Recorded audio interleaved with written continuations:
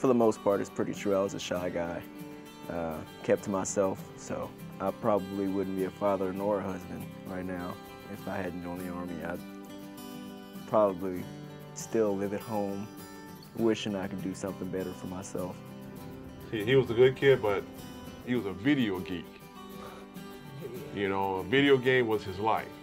Telling my folks that I signed up for the Army was, uh, it was a little rough because I, I, never really left the house. I never really went anywhere um, on my own. Like, mom, you gotta let me go. You know, I'm a grown. And I'm like, no, you can still be my baby, you know?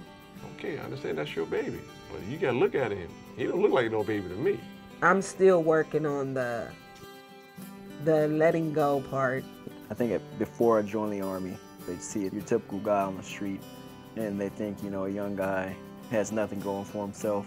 But now, since I've experienced the Army, took what I've learned and applied it to myself on the outside, it's a total, totally different view that people see of me.